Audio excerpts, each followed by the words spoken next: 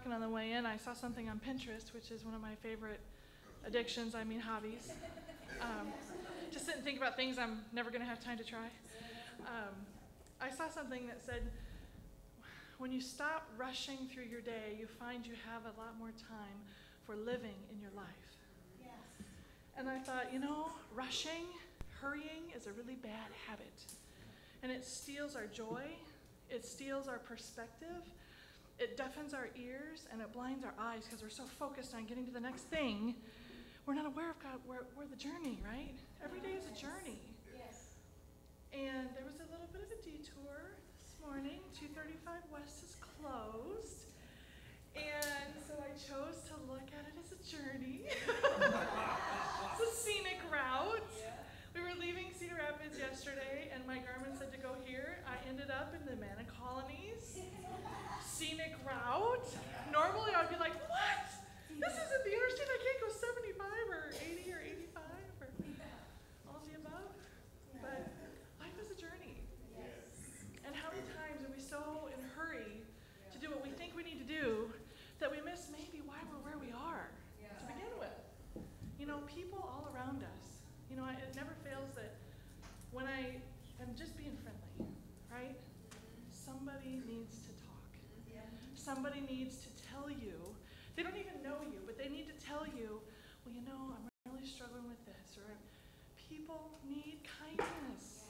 People need somebody that they don't even know, they don't even understand why, but they want to tell you because something about you makes them think somehow you might be able to help.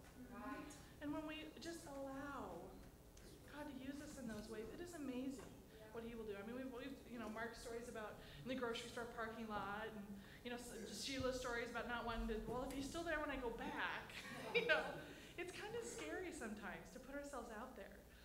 But when we're looking outside of ourselves, suddenly our little tiny molehills and our big mountains suddenly aren't so impossible. And when we realize what's going on around us and, you know, just give. We're to, we're to pour out our lives as an offering. That's what Jesus did. He was constantly looking, what do you need? He made time for the children, you know, who are insignificant, who he could get nothing from. They couldn't, they couldn't give money, they couldn't minister, you know, they weren't worth anything to him. But he said, suffer them not to come to me. You know? How many times do we miss those opportunities? And you know, I'm not as grumpy. I don't think I said a naughty word once yesterday or this morning. You know, I mean, it's amazing when we just yeah. let go of those things and just say, you know, it's a beautiful day. The sun is shining. I can breathe freely. I'm healthy. My kids are, you know, I mean, just be thankful and just stop rushing. I'm giving that up. Giving up a bad habit of rushing through everything and not having any joy. Yeah. giving up my peace over traffic. Yeah. you know? So I encourage you all to do the same and just look. Look with the eyes of the Spirit for opportunities to minister, just to hear what people are really saying. So many times, people, what they mean is not really what they're saying. They don't know how to ask, they don't even really know what they need sometimes. But they just keep talking. Mm-hmm. And we know. Because the Spirit knows, and it's the Spirit that draws them. And there just, unfortunately, aren't that many kind people in the world anymore. There aren't that many people that are willing to stop and listen. So let's be that light. Let's be that encouragement. And let's look for opportunities. Amen.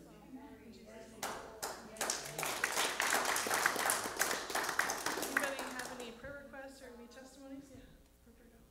Uh,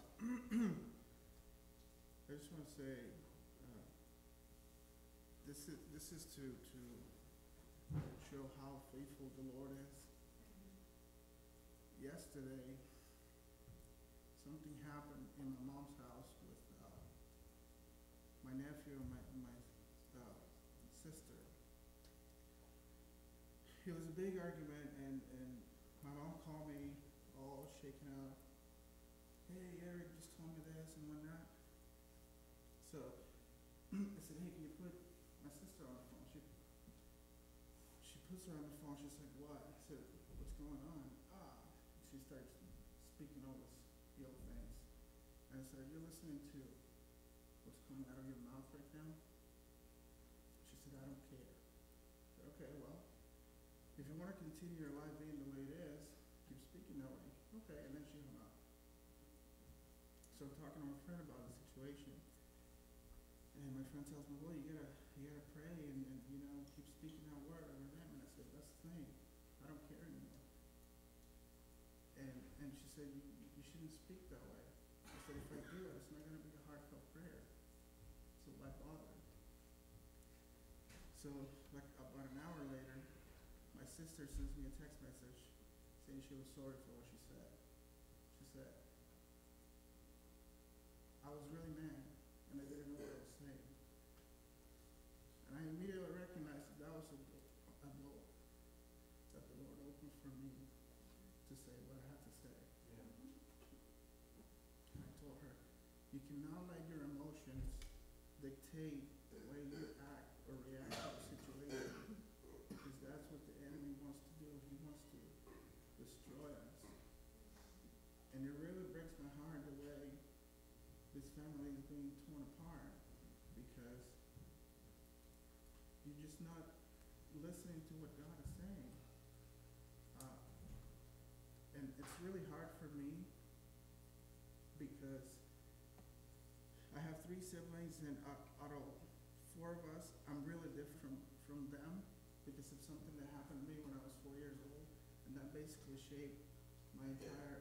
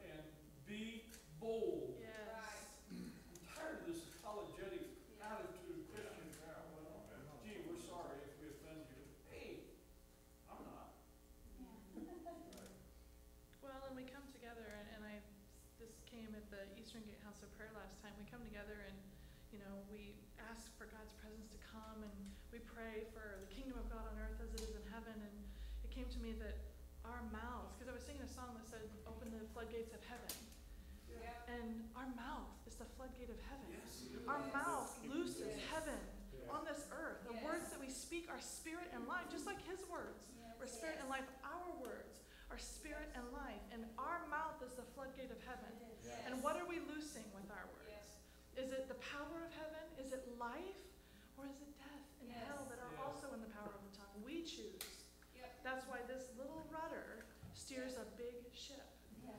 we must be mindful.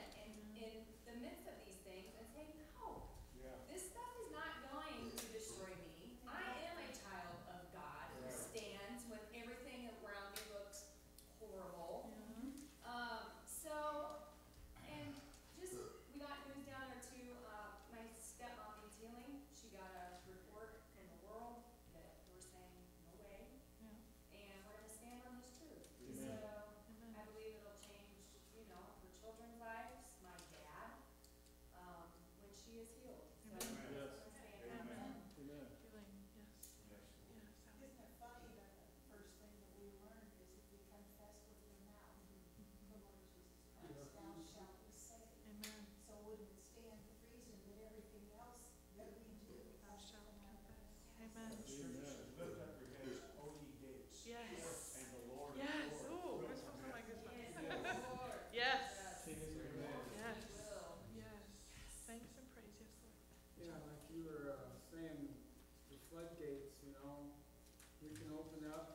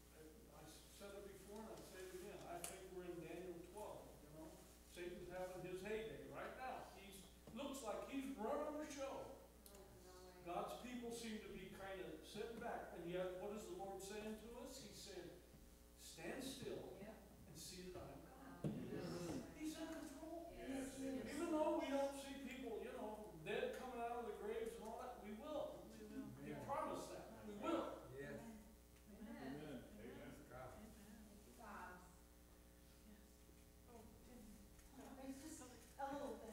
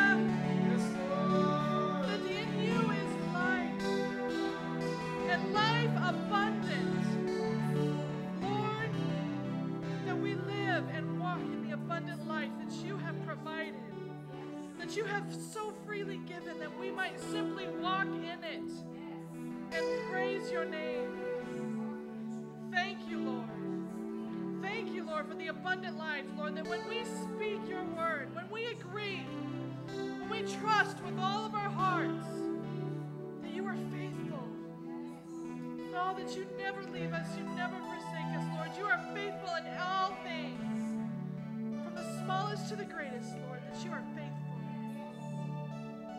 Oh, Jesus, and that you are worthy, that you are worthy, Lord. Be lifted high your name, Jesus,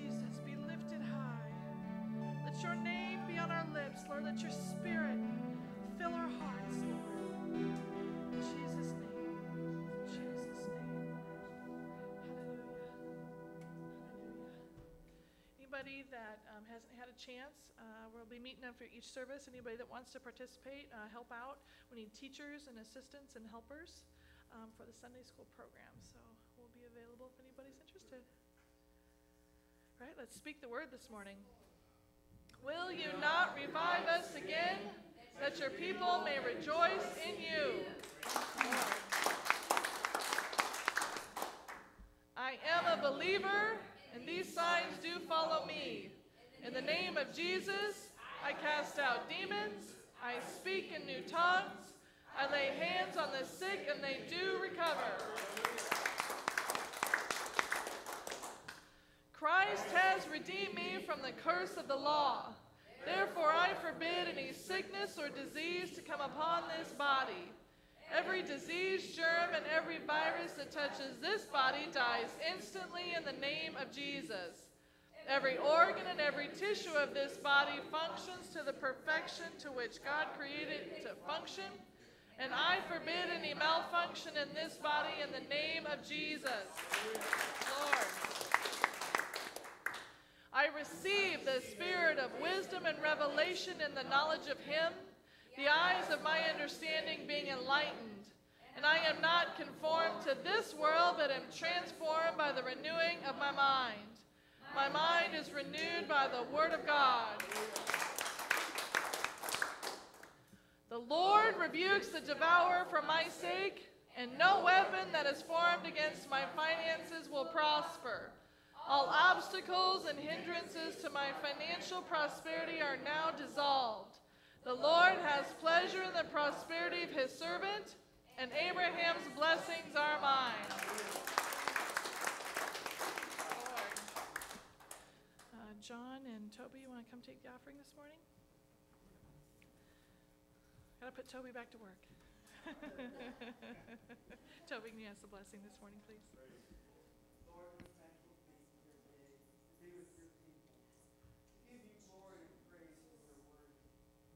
We quote your word that you have sent to us, Lord God. They still have effect. They still have power. We base our whole life and trust in you, for you are our Father. Everything you have told us is true, and we will speak it once again. And when we speak it, Lord God, all of nature takes hold, Lord God. Elements in the world hear, and they will obey. For your word is the only word ever spoken to create this place. And now, oh God, we just bless this offering. For you are our King and our Savior, and we will glorify it in your mighty name of Jesus. Amen.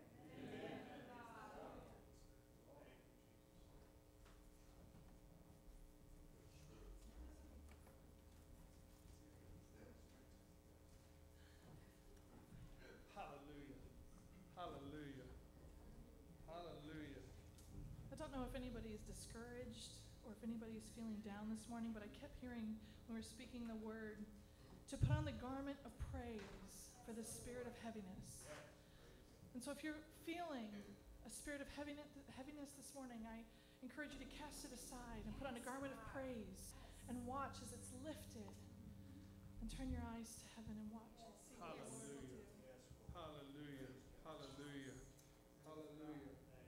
Lord said there'd be a shaking going on, and uh, I believe there's a whole lot of shaking going on. Even in here, might be shaking some things loose, some things off, but um, you might not be able to tell it now. But I ran uh, Drake relays, I ran hurdles uh, three years in a row, um, state and all that stuff. But I remembered if I had things hanging on me, things that didn't belong on me, and stuff like that, it would kill my time, it would kill my stride, it would kill my race. So Let's just shake it off this morning. Anything that's hanging, trying to hang on to you in the name of Jesus, just shake it off. Hallelujah. When I think of his goodness and what he's done for me, when I think of his goodness and how he's living for me, I want to praise, praise, praise, praise, praise, praise, all night, all night. When I think of his goodness and what he's done for me,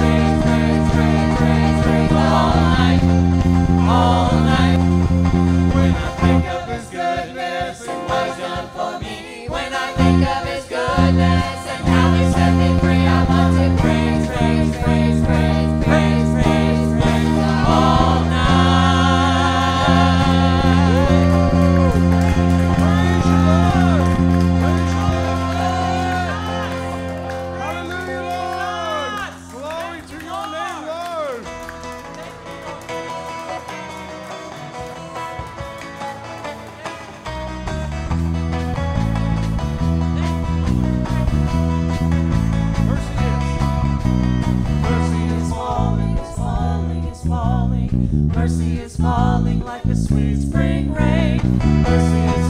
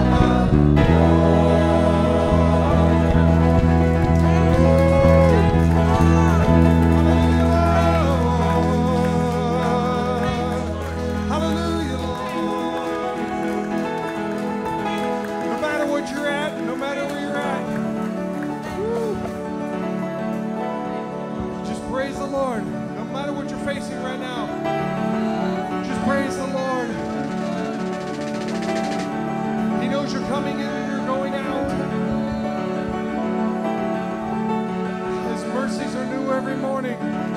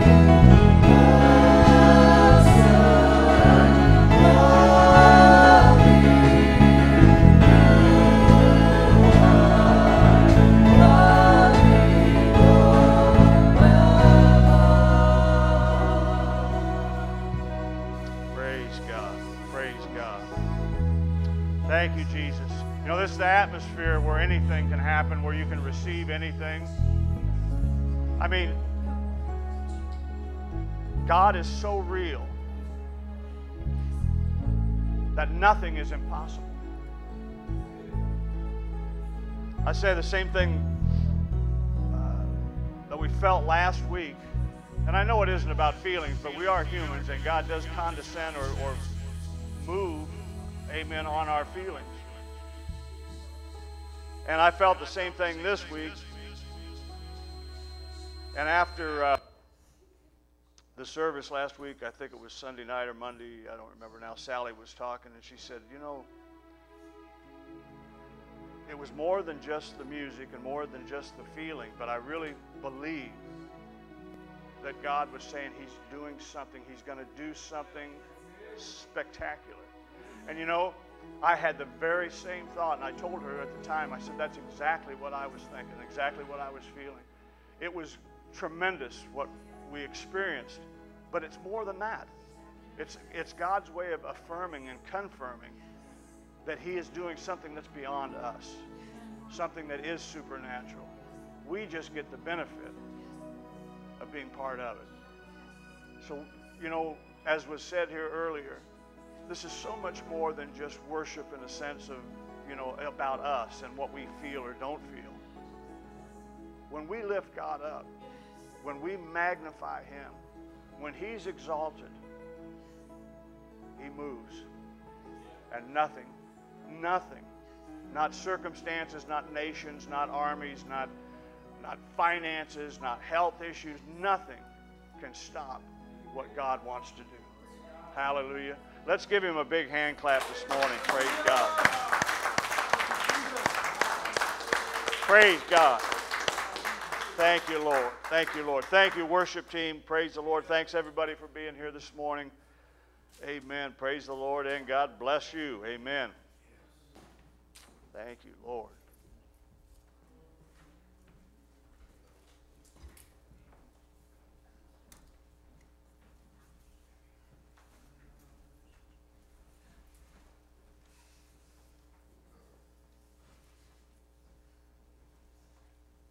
Thank you, Jesus.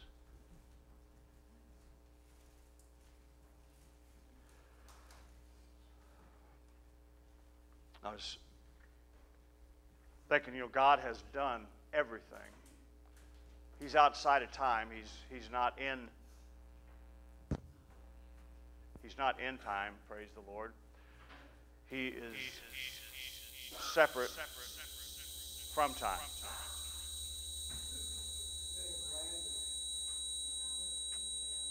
It's either the rapture or aliens have landed behind me. Praise the Lord.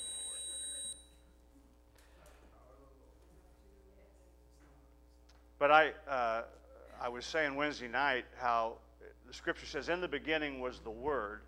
The Word was with God, the Word was God.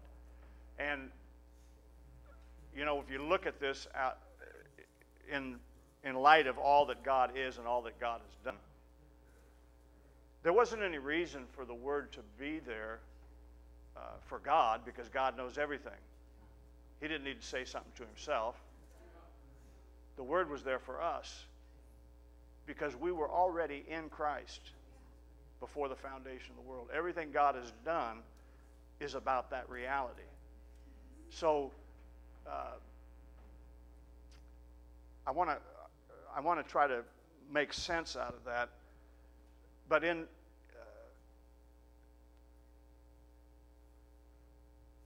in a way, what God has done is take us out of time, eternity, and done everything for us, and then placed us in time by our natural birth to give us an opportunity to come back to that original birth or that original existence in Him, which is what we call being born again. Once you're born again, all those things that He did in Christ before time, outside of time, I guess is a better way to say it, is ours.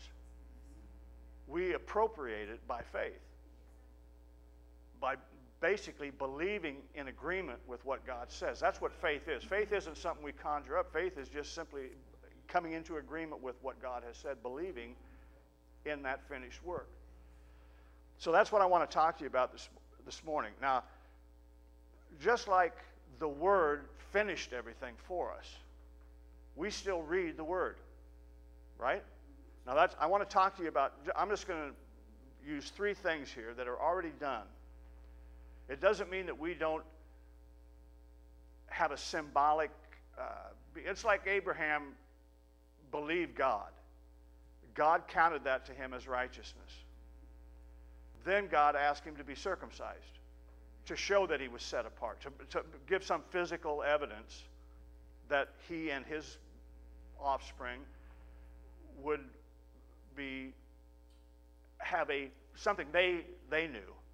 God already knows the heart because He's already said you're, you're, the righteousness of God in Christ. So this is baptism. This is what baptism is because they, they use that same analogy. Paul says it, it sounds like a contradiction, but in one place Paul says baptism doesn't save you. But on the other hand, if you're saved, you get baptized. So if you're not baptized and you die before you get baptized, doesn't mean you don't go to heaven. What it means is we, we are baptized as an outward expression of something that's already happened on the inside of us. Uh, uncircumcision of heart, you know, the way this, the scriptures refer to the Jew, unbelieving Jews, or the Jews who had not accepted Christ as their Messiah. And I just saw something this past week which I thought was fascinating, and sometime we'll take the time to really look over it. But when you look at the scriptures in the New Testament, you have the, the writings of Paul, which are the letters to the church, are uh, for, for everybody. Then he's got specific letters written to Timothy and, you know, those. But the letters to the churches speak directly to us. But then you've got the other gospels, the, the gospels of uh, James, Peter, and John, which are not literally written to us. They're written for us, but they weren't written to us. They were written to the Jews, the Jewish believers, who had conflicts with going back to animal sacrifices, the traditions, the law, and all of that. So when we read those, if we don't read them in the right context, it looks like contradictions. It looks like he's telling us to do legal things or there's legal things that are involved when there are not. Paul was the apostle to the Gentiles. That's us, the, the non Jew. And so everything in those letters, you know, First Corinthians, Romans, First, Second Corinthians, Thessalonians, uh, Galatians, Colossians, that, that's written directly to us. That's where you get the grace message. If you read, you know, James, Peter, First, Second, Third John, and those other writings, those other letters that were in Hebrews that were written to the Jews, then it looks like they don't match. It doesn't look. It, it looks like they don't fit together. But their revelation, first of all, was far less than Paul's was. That's why Paul writes so much more of the of the New Testament. And they were dealing with a separate issue altogether. The Gentiles came in without all of these traditions, without all this religious kind of baggage, so to speak. So they just embraced it. And so his letters to them, yes, they're about cor- correction and instruction and righteousness and so forth, because we know the Corinthian church, they were getting drunk when they had communion at church. They didn't get it. I mean, they didn't have any religious traditions. They just said, whoa, wine's here and bread, let's party. So they did. And so Paul had to write him a letter saying, look, that's not what this is about. Get drunk at home if you got to get drunk. You know, gorge yourself at home, not here. And, and also, the, there was the, the issues with uh, other immoralities, sexual behavior. Uh, a young man having an affair with his stepmother. He has to correct that. Right? Now, he, he, he wouldn't have had to write that to the Jews. They had a moral law that was so strict. I mean, those, it would have been crazy for him to even think that he had to write that to them. But they had other issues. And their issues were this mixture of law and grace. And that's what's constantly being addressed in those other letters. So uh, I just found that fascinating, but it also is another way of us being liberated to understand the real purpose of this New Testament, this new covenant, was to get us free. Right? To set us free. And everything that we need has already been done. We respond to those things by faith or coming into agreement with His Word. Right? So I'm going to just read a few, a couple of scriptures here uh, before I actually get into the text. This is part of the text, but it really, uh, I, just go here. John chapter 1 and verse 17, Sheila.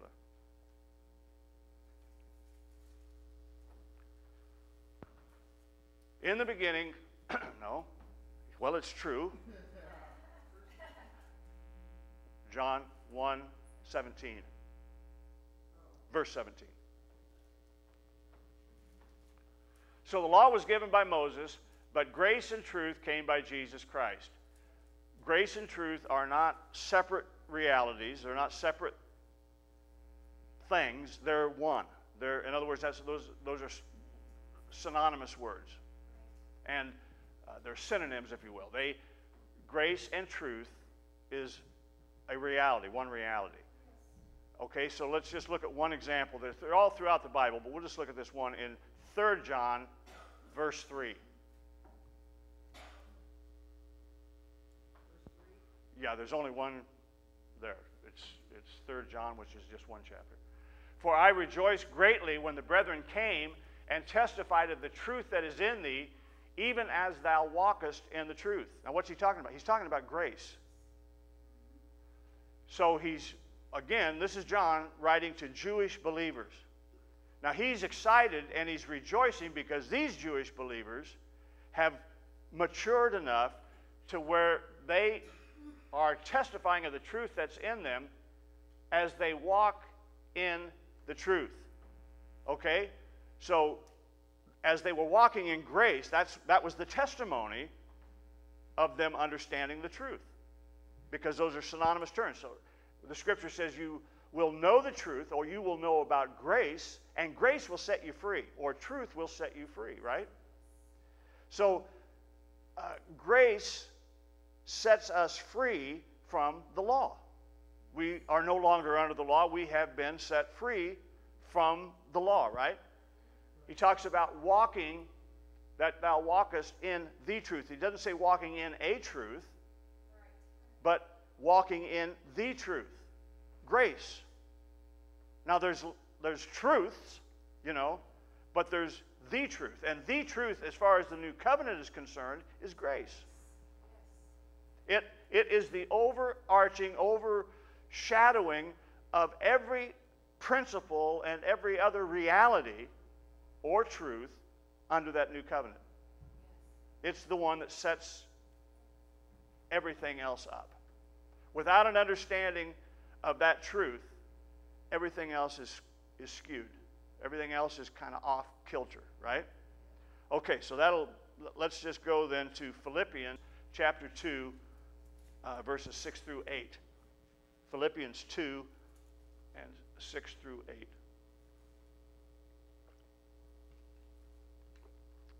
So everything is by grace, meaning it's a free gift. It's unmerited. God's already done it, He's already given it to us. It's ours, right? Now, this is speaking about Jesus, who, being in the form of God, thought it not robbery to be equal with God. But he made himself of no reputation and took upon him the form of a servant and was made in the likeness of men. And being found in fashion as a man, he humbled himself and became obedient unto death, even the death of the cross. So God has revealed his unconditional love for us through what is generally what we generally refer to as the incarnation. And, and it's with the idea, religiously speaking, especially, uh, even as it is spoken here, that the idea is that it's uh, this whole incarnation was for one reason for him to die. Praise the Lord. It's true that he did was born to die, but that's not all he was born for. Although what religion basically promotes is that that's the whole reason. And and and uh, it, it's way more than this. The incarnation of, of God in Christ is, is much more than just, and I'm not diminishing the death, burial, and resurrection. I'm just saying there's a whole lot more to this than just that. Jesus didn't live on this earth for 33 and a half years just to kill time or pass the time till he could be crucified. Praise the Lord. So, Jesus' substitutionary death wasn't the only substitutionary act on our behalf. Praise the Lord. Uh, look at verse 8. And being found in the fashion as a man, he humbled himself and became obedient unto death, even the death of the cross. Now, we struggle to be obedient. And we struggle to be obedient to the things that we've been taught and what we believe He expects of us. Right? Praise the Lord. What if obedience has nothing to do with behavior? What if obedience has nothing to do with external behavior? What if obedience is just faith in the perfect obedience of Jesus?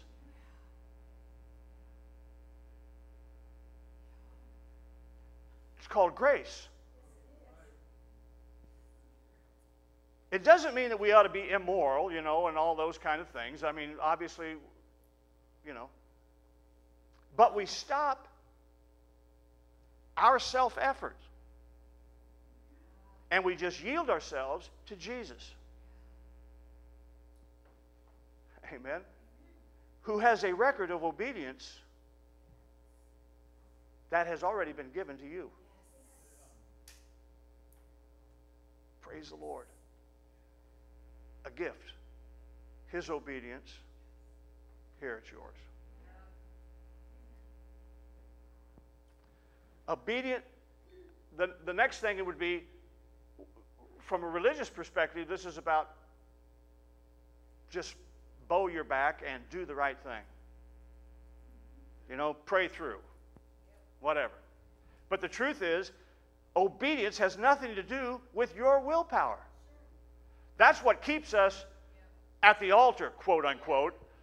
That's what keeps us under condemnation, under guilt, under shame, under uh, failure. It's why people, quote unquote, backslide, which is not a, even a, a New Testament language, but yet we use it because we're infusing Old Testament teachings into the New Testament church, Old Covenant into the New Covenant, and got people so messed up that they're so guilty and so ashamed and such failures in their own mind that they quit. They go out, they walk out.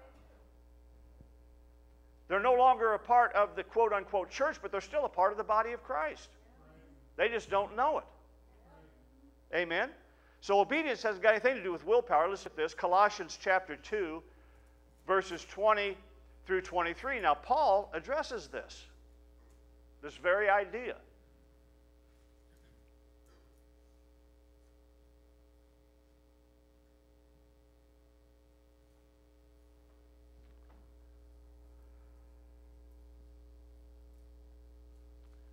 Praise the Lord. If Wherefore, if ye be dead with Christ from the rudiments of the world, why, as though living in the world, are ye subject to ordinances? Touch not, taste not, handle not. These are some of the ordinances he's referring to. Which all are to perish with the using, after the commandments and doctrines of men. Which things have indeed a show of wisdom in will worship and humility and neglecting of the body, not in any honor to the satisfying of the flesh. Praise the Lord. He calls this idea of willpower, religious teaching, as will worship. We become the focus. We start, to, the next thing you know, you're worshiping people because they did more or they've, they've done less, depending on what your you know, category is. But it's, he's saying it doesn't do anything for, for anything. It doesn't help your flesh. It doesn't help your spirit. It doesn't help. It does, has nothing to do with anything other than your own identity as you see your flesh. Right? So you don't have to struggle anymore. That's the beauty of, the, of this new covenant. You simply rest in Jesus' finished work of obedience. Praise the Lord. That's why it's called good news. It sets us free. This gospel isn't just it isn't just about uh, it's going to save me when I die. It's not just about facing death. It's good news for facing life. It's so that we can have an abundant life, so that we can have more than just a hope of when I die, I won't go to hell. Or that I don't need to be afraid of dying because it's not all over. You don't need to be afraid of living either. God has already provided everything so we can enjoy this life. That's what He said. I've come to give you life. And that more abundantly. I've come to give you a life that sets you free so you can enjoy life. Praise God. Amen. The obedience of Jesus was accomplished for you and then given to you by grace. Amen. Religious teachings, religion itself requires.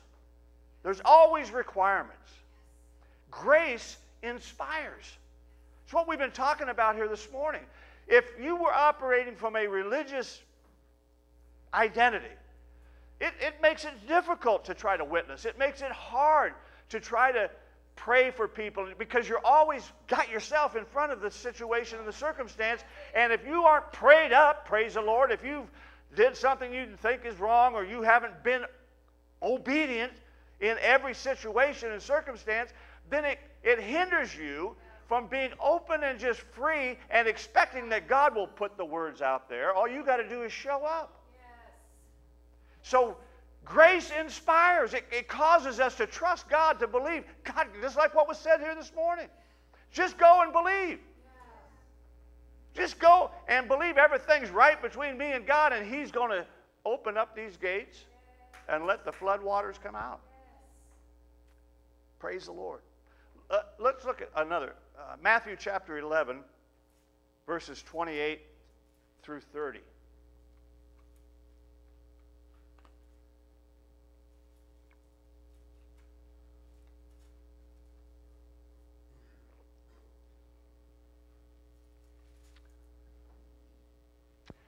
Come unto me, all ye that labor and are heavy laden, and I'll give you rest. Take my yoke upon you and learn of me, for I am meek and lowly in heart, and ye shall find rest unto your souls. For my yoke is easy and my burden is light. Now we've looked at the scripture many, many times, but just just think about it. Come unto me, all you that labor and are heavy laden, and I'll give you rest. Who did Jesus, who was Jesus ministering to? For the most part, the Jews. There were some isolated incidences where he did pray for you know, the, the uh, Syrophoenician and, you know, different ones, but mainly the thrust of his ministry was to the Jew.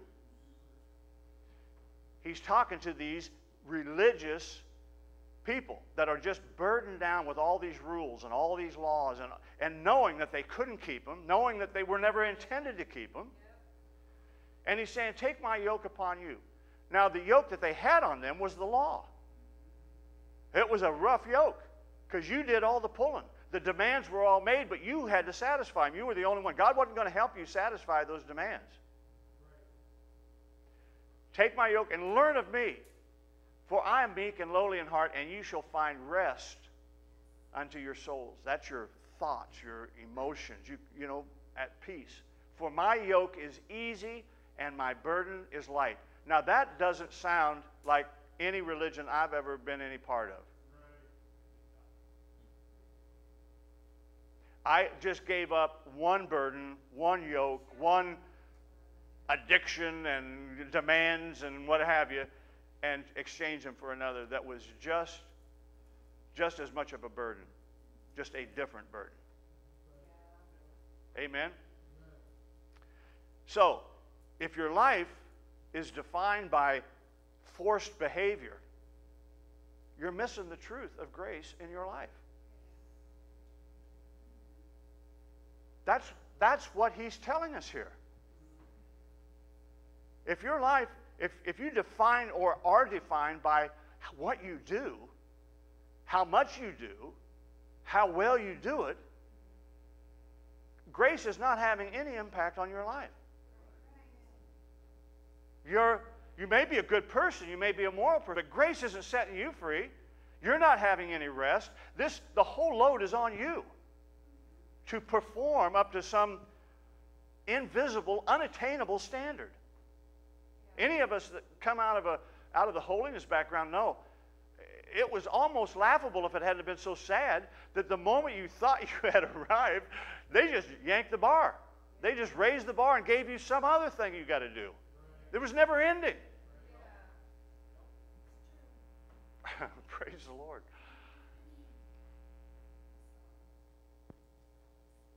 Stop focusing on yourself. Stop scrutinizing and criticizing and, and relax and enjoy abundant life. Amen? Abundant life is yours in Christ, it belongs to you. Don't focus on your performance, or you're going to miss the peace that comes from resting in Jesus' obedience. It makes his work in vain if we do not take advantage of it. Amen? All right? That's obedience.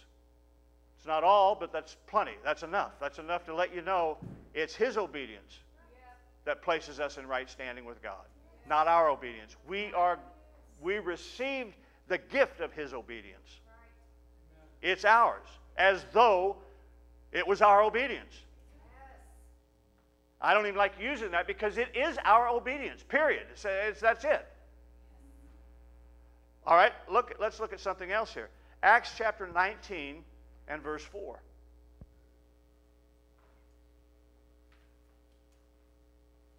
Then said Paul, John verily baptized with the baptism of repentance, saying unto the people that they should believe on him which should come after him, that is, on Christ Jesus. So Paul's saying, he's, he's talking to these people, and he says, John baptized with the baptism of repentance, right? Now, I'm just wonder if any of us ever think about this, because I hadn't really, until I started thinking about everything is done, and you start seeing it, then it, it raises other questions. But look then in Matthew chapter 3, verses 13 through 15. And we all know these scriptures. I mean, we've, we've all read them and heard them uh, many, many times, but Matthew 13, or excuse me, Matthew 3, 13 through 15. Then cometh Jesus from Galilee to Jordan unto John to be baptized by him. Remember, John's baptism is a baptism of repentance, right? But John forbade him, saying, I have need to be baptized of thee, and comest thou to me? Now, I read that for many, many years, and I thought, oh, John's just trying to be humble. No, John knew doctrine. And he's thinking, what has this guy got to be repenting about? He's already defined him, already declared that he's the Messiah, the Lamb of God that's come to take away the sin of the world. And Jesus answered and said unto him, Suffer it to be so now, for this it becometh us to fulfill all righteousness. Then he suffered him, or then he baptized him, right? So John's question makes sense given the knowledge we've got, the, the information we've got, and even the revelation we've got that Jesus is God in the flesh, that Jesus is the Messiah, right? Why do you need to repent? That's what he's basically saying. He didn't. Jesus wasn't baptized because he needed to repent even though that's what that baptism was about. He was baptized for you and me. Because we are in Christ. We were in Christ before the foundation of the world. I mean, think about this. This gets me excited because everything is already done. Doesn't mean that there aren't reasons for me to then be baptized in the natural later on. But just like with Abraham, I've already been declared righteous before the foundation of the world. All I needed was my mind changed. All I needed was repentance. All I needed to do was turn from me, from that reality, to the real reality, which is I was in Christ before the foundation of the world. I mentioned this Wednesday night. the lost coin, the parable of the lost coin, the parable of the, the lost sheep, the parable of the prodigal son, the lost son. It's all of that. You can't be lost unless you had a belonging to begin with. Unless you already belong somewhere, you're not lost. Amen. The sheep had to have a shepherd before he could be lost. Otherwise, he's just a wild sheep. The coin had to belong to somebody in order for it to be lost, or it's just a coin. The prodigal had to have a father in order to be lost from the father. That which is lost has come home. Have a party. In every case, they have a great celebration when the sheep is found, when the coin is found, when the son comes home. There's a huge celebration. And what does the Bible say? It says, there is a celebration in heaven. The angels rejoice for every sinner who is saved or who comes home. He has to he comes home because that's where he left from. That's where he was originally was in Christ. Hallelujah. That's what I'm saying. It's all done. All we did was turn around. All we did was change our mind. And I'm going to show you this morning, we didn't even do that.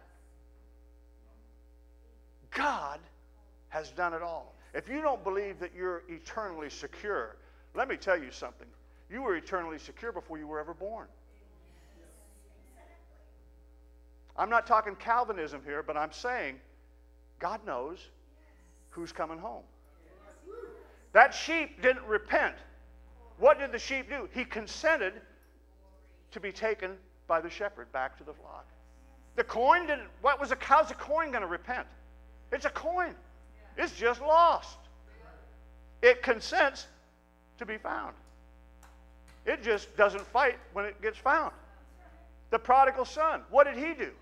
He had a he had a scam going. He thought I'm going to go home and I'll just fall on his mercy. Oh well, you know I'm not. I don't deserve to be your son. Just make me a servant. Father won't have any part of it. You belong to me. You're my son. You're not a servant. I can't make you a servant. You're already my son. All I can do is rejoice in the fact that my son that was lost has come home.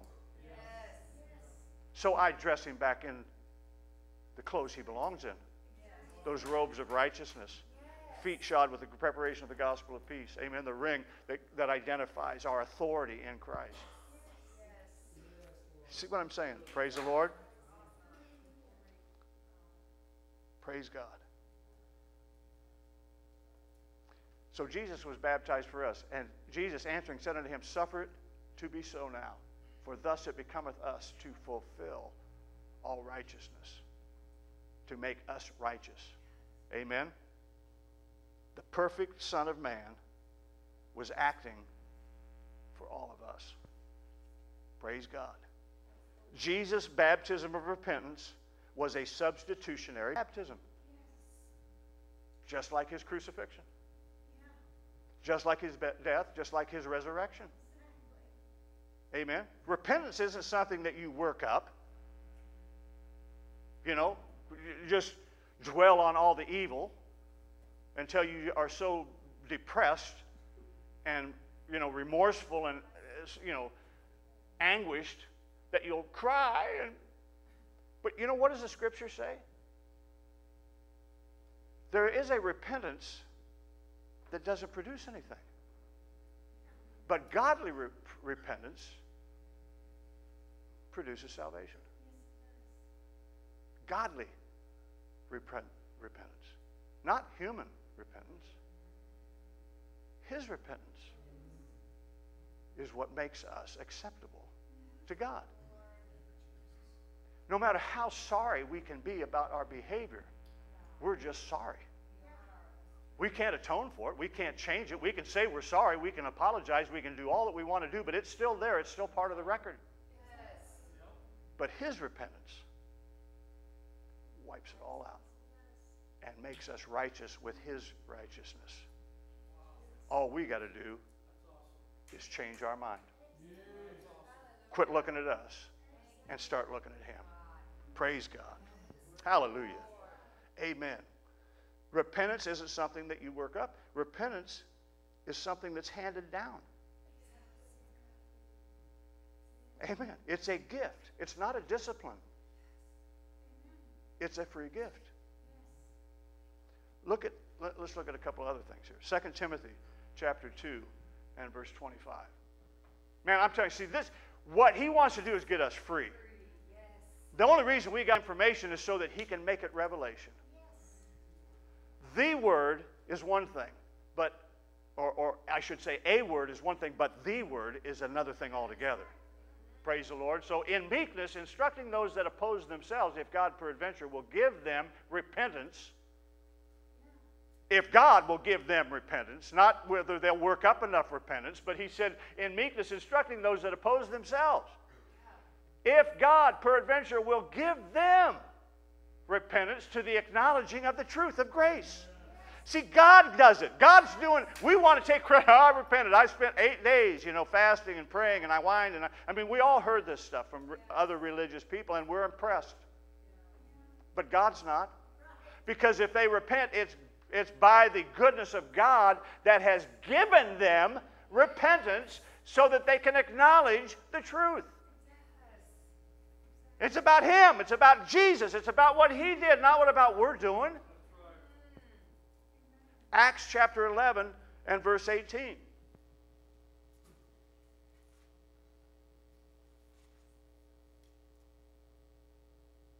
When they heard these things, they held their peace and glorified God, saying, Then hath God also to the Gentiles granted repentance unto life. He didn't say the Gentiles repented, he said God granted them the repentance that had already taken place. Jesus came for the Jew, but it became available to everybody when the Jews rejected. And that's what they're that's what they're relating to here. That's what they're saying. God, we saw this, and God, the only thing we could figure out is God has granted that same repentance that Jesus supplied for the Jew to the Gentile. They didn't, these guys, James, John, Peter, they didn't even understand this stuff at first. That's why when, when uh, Peter went to the centurion's house, he wasn't expecting this guy to get the Holy Ghost. He was shocked. In fact, he comes back and said, What was I, what was I supposed to do? I saw that God had given him this free gift, the same as he had to the Jews. He didn't even want to go. He's still arguing dietary laws in his mind, right? With God. So he's still hung up in this mixture that Paul had been delivered from. That's why Paul is sent to the Gentiles. Praise the Lord. Repentance is simply the act of changing your mind. Re- religion teaches repentance revolves around changing bad behavior into good behavior. That's why it's not godly. Because repentance is simply supposed to cause us to focus on Jesus, not on us not changing my good be- bad behavior to good behavior, but focusing on Jesus, who is perfect, and now my identity. Praise the Lord. Repentance is connecting our belief with the work of Jesus. Amen?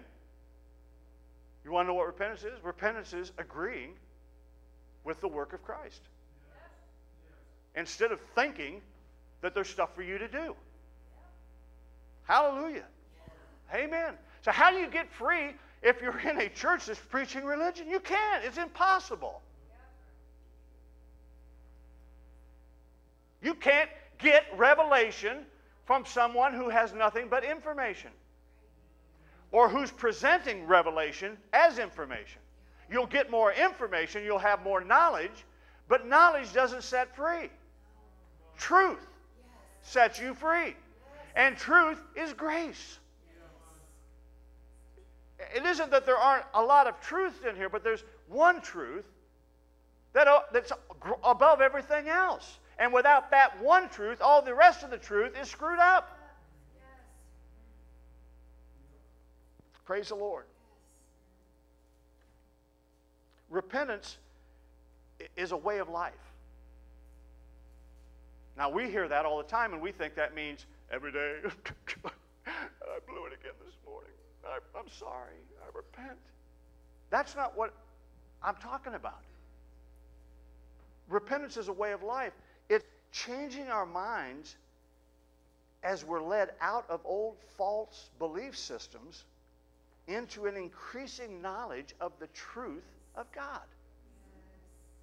That's what we're doing here right now. We're repenting. Right? We're, our minds are being changed about some things that we didn't necessarily know before. Or we knew them in a different way. We knew them under a different understanding. But see, every bit, the more you accept grace, the more God can give, the more God can reveal. Because it focuses on Him and not on us, not on our creeds, but on His truth. Praise the Lord. John 16 and 13.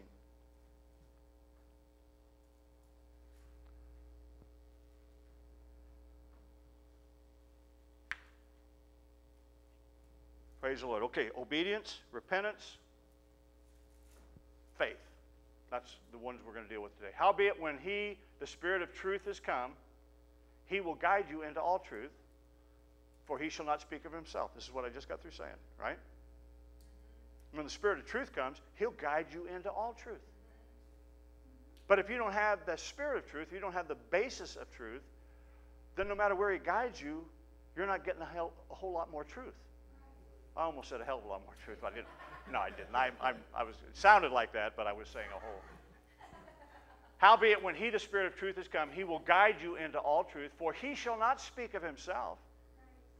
But whatsoever he, he shall hear, that shall he speak, and he will show you things to come. Praise God. So repentance brings faith. Authentic faith is when our focus is on the faithful one, not on me. Not on how much faith I can conjure up, but authentic faith is when I'm focused on the one who is always faithful. We heard the testimonies here. Roberto was talking about what, ha- what happened. I realized how faithful God is. Right? That's faith. Roberto, you exercise more faith in that statement than many Christians exercise in their entire life. Because it's all about them. I'm not putting people down. I'm saying we, we only can operate from what we know. The truth that we know. But that's why he says it's the truth that you understand that sets you free.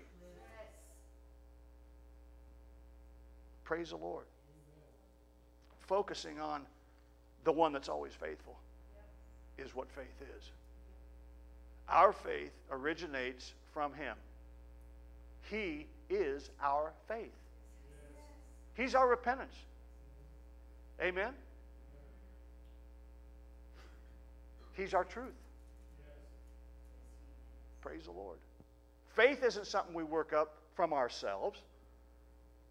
Faith is someone who lives in ourselves. Acts chapter 17 and verse 28. A couple more scriptures here and we'll, it up. Acts 17, verse 28. For in him, we've used this scripture a lot here recently, but for in him we live and move and have our being. As certain also of your own poets have said, for we are also his offspring.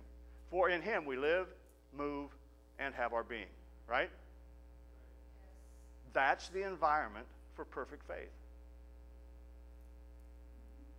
Whether we realize it or not, that's the testimonies we were hearing here this morning. Right? We believe He's going to do what He said He'd do. In Him we live. In Him we move about doing the things that we do. We actually exist, have our being in Him. That is the perfect environment for faith. Or you could even say that's the environment for perfect faith because it's His faith. Amen. Galatians chapter 2 and verse 20.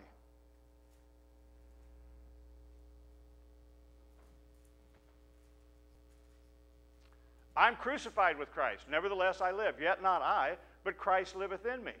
And the life which I now live in the flesh, I live by the faith, by the faith of the Son of God. Not by my faith. We don't live our lives by, we, we live in Him. We move and have our being, right?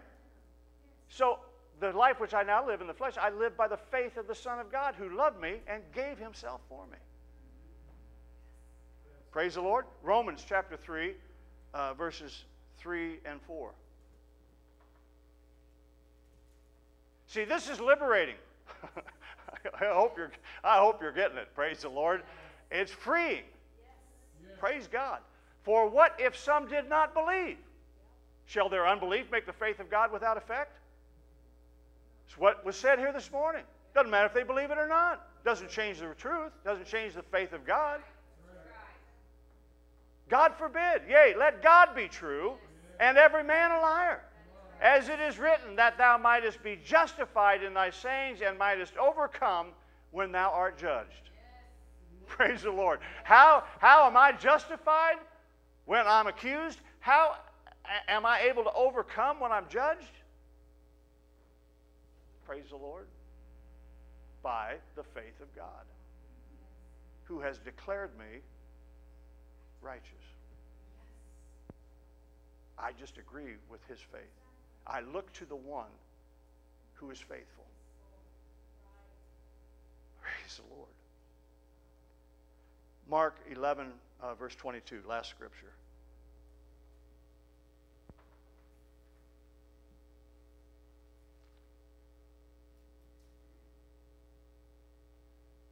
And Jesus answering said unto them, Have faith in God. And if you look that up in the original Greek, it's trust God's faithfulness. Praise the Lord. How can we do these things? I mean, it's impossible for man. And praise the Lord. Trust God's faithfulness. Everything comes to us as a gift of grace by Jesus Christ. Everything. Everything. It's all been done. Amen. I mean, if this isn't clear to you, you need to get the CD or something. I mean, it, look, this is not about us. It's never been about us.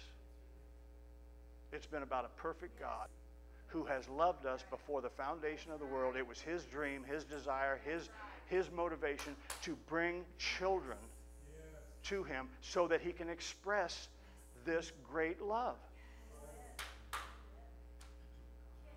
That's the God who birthed us, who, who became the Word, so that thousands of years later, he could talk to us who did not exist in the flesh yet, but already existed in him. So that he'd have a way of turning us back to him.